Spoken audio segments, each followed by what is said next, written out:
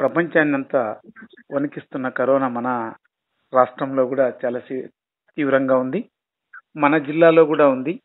దానికోసం ప్రభుత్వం ఏప్రిల్ పద్నాలుగు వరకు లాక్డౌన్ ప్రకటించింది. రైతులకు కూడా ముఖ్యంగా ప్రత్యేక సూచనలు పంటలు నూర్పిడి దశలో ఉన్నాయి. ఇలాంటి పరిస్థితుల్లో జిల్లా వ్యవసాయ శాఖ సంయుక్త సంచాలకులు శ్రీ అబీబ్ బాషా గారు మనకు ఫోన్ లైన్లో అందుబాటులో ఉన్నారు. వారిని అడిగి జిల్లాకు రైతులకు ఎలాంటి సూచనలు చేస్తారో తెలుసుకుందాం. నమస్కారం అండి జేడి గారు. నమస్కారం అండి. మీరు మన జిల్లాలో ఈ కరోనాకు సంబంధించి రైతులకు ఎలాంటి సూచనలు చేయదలుచుకున్నారు? అందరికీ నమస్కారం. ఈరోజు ప్రతి ఒక్కరికి శ్రీరామనవమి శుభాకాంక్షలు తెలియజేసుకుంటూ ఇలాంటి పరిస్థితుల్లో శ్రీరామనవమి శుభాకాంక్షలు తెలియజేయడానికి కూడా బాధగా ఉంది. ఈ ప్రపంచాన్ని వణికిస్తున్న మహమ్మారి కరోనా వైరస్ తీవ్రతను ప్రతి ఒక్కరూ గమనిస్తూ ఉన్నారు. నిజంగా మన రాష్ట్ర ప్రభుత్వం చాలా పకడ్బందీగా చర్యలు తీసుకుంది. ఈ మహమ్మారి ఎంత వణికిస్తుందో శ్రోతలందరికీ తెలుసు. అన్ని ఎన్నడూ చరిత్రలో ఇలాంటి ప్రళయాన్ని చూస్తాం. ఇలాంటి ఉత్పాతాన్ని ఇలాంటి పరిస్థితి వస్తుందనేది కూడా ఎవరు చూ ఊహించలేదు. కానీ అందరం సామాజికంగా దీన్ని ఒక నియమావళి ప్రకారం వెళ్ళి దీన్ని దూరం చేయాల్సిన పరిస్థితి దీని బారి నుంచి కాపాడుకోవాల్సిన పరిస్థితి మనందరిలో ఉంది. ముఖ్యంగా వ్యవసాయ రంగం అంటే రైతు శ్రమించింది మనకు మన ఈ చేతి వేళ్ళు నోట్లోకి వెళ్ళవు అలాంటి రైతన్నకు కూడా ఇది కష్టం తెచ్చిపెట్టింది. ఈ మనకు రైతులు పండించే పంటలన్నీ మార్కెట్కు చేరాలనే ఉద్దేశంతో మన రాష్ట్ర ప్రభుత్వం కేంద్ర ప్రభుత్వం ముఖ్యంగా మన జిల్లా యంత్రాంగం గౌరవ జిల్లా కలెక్టర్ గారు జాయింట్ కలెక్టర్ గారు ప్రతి ఒక్కరు శ్రమించి దీనికి కొంత రిలాక్సేషన్ ఇవ్వడం జరిగింది. రైతులందరిలో మన ముఖ్యంగా ఈ మహమ్మారి నుంచి బయటపడడానికి కూడా కొన్ని జాగ్రత్తలు ముందుగా నేను అందరికీ తెలియజేస్తున్నా. ముఖ్యంగా మన జిల్లాలో వేరుశనగ ఒకటి మొక్కజొన్న ఒకటి వరి పంట కోతలకు సిద్ధంగా ఉన్నాయి. వేరుశనగ అంటే కొన్ని చోట్ల అంటే- కాయలను విడదీసే తీస్తున్నారు. కొన్ని చోట్ల ఇంకా పెరకలేదు ఇలా రెండు మూడు దశల్లో ఉన్నాయి. రైతులందరూ కూడా వేరుశనగ విత్తనాన్ని కూడా ప్రభుత్వం సేకరిస్తుంది. అరవై అరవై ఒక్క రూపాయలు కిలో ప్రకారం. ఈ సందర్భంలో కూలీల పట్ల ప్రభుత్వం కొంత సడలింపు ఇవ్వడం జరిగింది. ఎందుకంటే వ్యవసాయ రంగంలో లేబర్ శ్రమ అంటే రైతు కూలీలు శ్రమిస్తే తప్ప ఈ ప్రాడ్యూస్ మార్కెట్కు రాదు. కా- ఇక్కడ కొన్ని జాగ్రత్తలు తీసుకోవాలి. సామాజిక దూరం పాటించాలి. మాస్కులు తప్పనిసరిగా ధరించాలి. అలానే శానిటైజర్లను చేతులను శుభ్రంగా ఉంచుకోవాలి. అసమానం చేతులను ముఖాలు ముఖ ముఖం తుడుచుకోవడంలోనో లేకపోతే నోట్లోనో వేలు పెట్టుకోకుండా ముక్కుల్లోనో పెట్టుకోకుండా కొన్ని జాగ్రత్తలు పాటించాలి. ఇవి ఇంట్లో కానీ సమాజంలో కానీ బయట కానీ పాటించాల్సిందే. సామాజిక గుంపులుగా ఉండకూడదు. నాకు తెలిసినంత వరకు పొలంలో పని కూడా రెండు మూడు డిస్టెంట్ల గ్యాప్లు జరుగుతూ ఉంటుంది. కొన్ని చోట్ల గమనించాను వేరుశనక్కాయలను విడదీసే దగ్గర గుంపులుగా కూర్చొని పనిచేస్తూ ఉంటారు చెట్ల కింద నీడలో. కాదు అది గుంపు కాకుండా కొంత రెండు మూడు మీటర్ల దూరం పాటిస్తే చాలా మంచిది. నాగేశ్వర రెడ్డి గారు ఇంకా అంటే ఇవి మేజర్గా రైతాంగం అంతా అంటే మీ రేడియో ద్వారా మీరు రైతులకు ఇవి చేరేయడం చాలా అభినందనీయం. జేడి గారు ఇప్పుడు మనకి ఇప్పుడు మార్కెట్లకి వస్తువులు తీసుకురావద్దని తెలంగాణ ప్రభుత్వం అనింది. మన ఆంధ్రప్రదేశ్లో ఎలా ఉందండి? లేదండి ఇప్పుడు మన జిల్లాలో ముఖ్యంగా ఈ హార్టికల్చర్ ప్రాడక్ట్స్ మీద కొంత ప్రభావం మొదట్లో పడింది. దాన్ని జిల్లా యంత్రాంగం కలెక్టర్ గారు జాయింట్ కలెక్టర్ గారు హార్టికల్చర్ డిపార్ట్మెంట్ అగ్రికల్చర్ డిపార్ట్మెంట్ అందరూ కలిసి కొంత క్లారిటీ అంటే మూమెంట్ వరకు అంటే నిత్యావసర వస్తువులు ఏవి కూడా ఉమ్, రవా వాటి మీద రవాణా ఆంక్షలు లేవు. మనం రై మన నిత్యావసర వస్తువులు అనేవి అన్ని ప్రజలకందరికీ కూరగాయలు కావచ్చు పళ్ళు కావచ్చు దినుసులు కావచ్చు పప్పులు కావచ్చు ఆయిల్స్ కావచ్చు ఎరువులు కావచ్చు విత్తనాలు కావచ్చు ఇవన్నీ నిత్యావసర వస్తువుల కిందకి వస్తాయి. అంటే ఒక ఏసీ నిత్యావసర వస్తువు కాకపోవచ్చు కారు కాకపోవచ్చు కానీ వాటిని కూడా కొన్ని చోట్ల మూవ్మెంట్ని ఎక్కడ ఆపిన దాఖలాలు లేవు. కానీ ఈ మూమెంట్ అనే మాట చెప్పి లారీలో పది మందో ఇరవై మందో ప్రయాణించడం అలాంటి వాటి పట్ల జాగ్రత్తగా ఉండాలి. అంటే వాళ్ళ వస్తువులని ఉత్పత్తులను మార్కెట్కి తెచ్చుకొని అమ్ముకోవచ్చు అంటారా? అమ్ముకోవచ్చండి. ఇప్పుడు కూరగాయలు కూడా రోజు ఉదయం నుంచి మార్కెట్లో సడలించిన టైంలో అందరూ మార్కెట్కు కూరగాయలు తెచ్చుకుంటున్నారు. చాలా మంది గౌరవ ప్రజాప్రతినిధులు గౌరవ శాసనసభ్యులు కావచ్చు గౌరవ మంత్రులు కావచ్చు గౌరవ ఎంపీలు కావచ్చు ఎమ్మెల్సీలు కావచ్చు.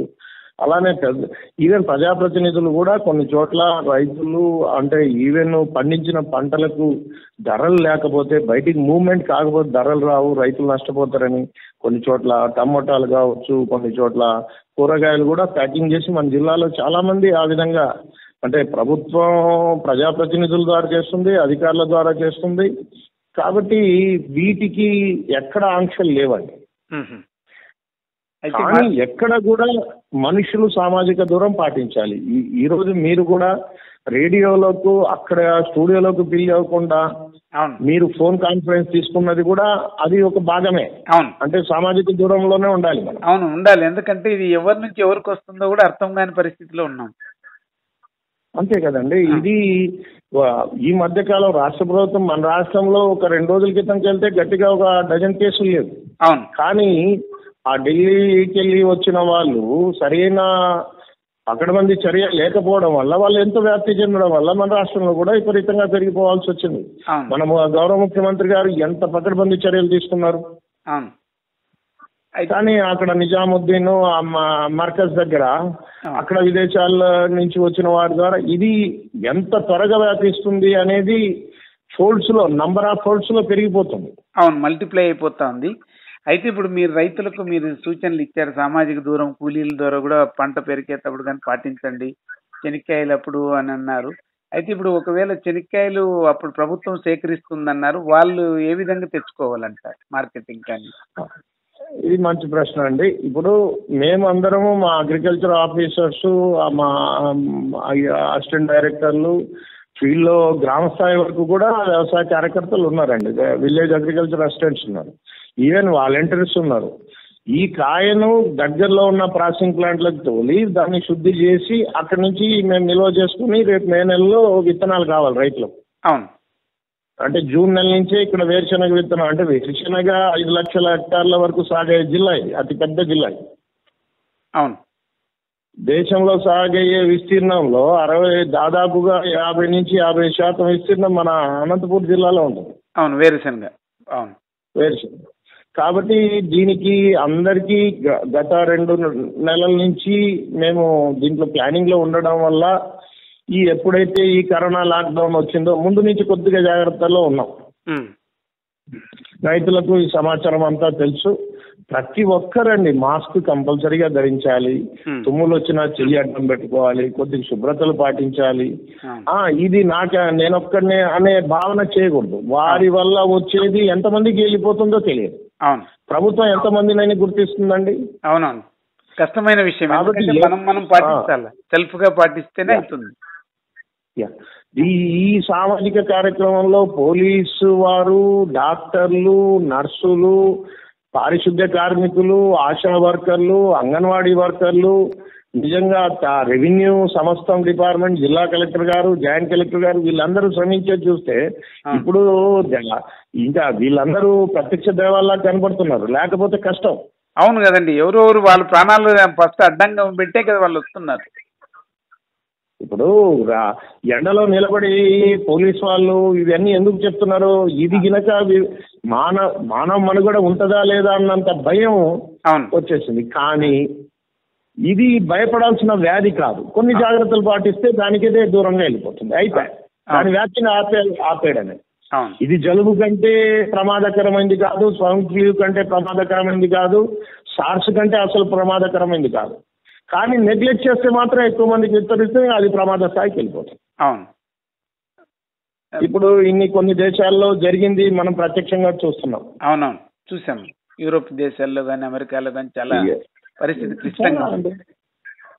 అందుకు. ప్రతి ఒక్కరిని అంటే నేను రైతాంగం తరపున రైతులు అంటే ఎక్కువ మంది డెబ్బై శాతం ప్రజలు రైతులు రైతు అవును. కూలీలే వ్యవసాయం. మీదే ఆధారపడినారు. రైతులు రైతు కూలీలు. కరెక్ట్. చూసారా గౌరవ ప్రధాని గారు గౌరవ ముఖ్యమంత్రులు యాక్చువల్గా ఈవెన్ నమస్కరించి చేతులు జోడించి ఎవరి కోసం? ఇది మన కోసం మానవ జాతి మనుగడ కోసం. నేను కూడా పోషిస్తే మీరు అన్నట్ల సుఖంగా ఉంటది రైతులకు. మీరు మీరు కోరుకునేది కూడా అదే కదండి రైతుల అవునండి. నేను ఈ సందర్భంగా మీ రేడియో ద్వారా ఆల్ ఇండియా రేడియో ద్వారా రిక్వెస్ట్ చేస్తున్నాను. అందరూ నిర్భయంగా జాగ్రత్తలు పాటించాలి. అది. ఎవరు ప్యానిక్ కావద్దు. కానీ జాగ్రత్తలు ఉల్లంఘిస్తే మన అందరూ శ్రమించిన శ్రమనంతా మనం విస్మరించిన వాళ్ళం అవుతాం. ఇంకా దీన్ని అదుపు చేయలేకపోవచ్చు. ఎవరు కూడా దీది కేవలం వైరస్. వైరస్ అనేది కొంతకాలం జాగ్రత్తలు పాటి చిన్నప్పుడు అమ్మవారు వచ్చేది. మీకు ఐడియా ఉంది కదా? అవునండి. అప్పుడు అప్పుడు వేప వేప మండలిలో పడుకోబెట్టి బయటికి పోతే అమ్మకు ఆ ఉగ్ర రూపం దాలుస్తుందిరా అమ్మ రెచ్చిపోద్ది ఆ దేవత కోపం వస్తుంది అనేవాళ్ళు. అంటే అది దాని అర్థం ఏంటంటే ఇది పది మందికి విస్తరించే వ్యాధి ఇది. వెంట వెంటనే అందరికి చేరిపోతుంది. అవును. దీనికి కట్టడి అవసరం కట్టుబాటు అవసరం ఇది పాటించండి. ఓకే. దీన్ని సులువుగా నివారించవచ్చు చాలా మంచి విషయాలు మా రైతు సోదరులకు తెలియజేసినందుకు ధన్యవాదాలు నమస్కారం అండి. నమస్కారం అండి థ్యాంక్ యూ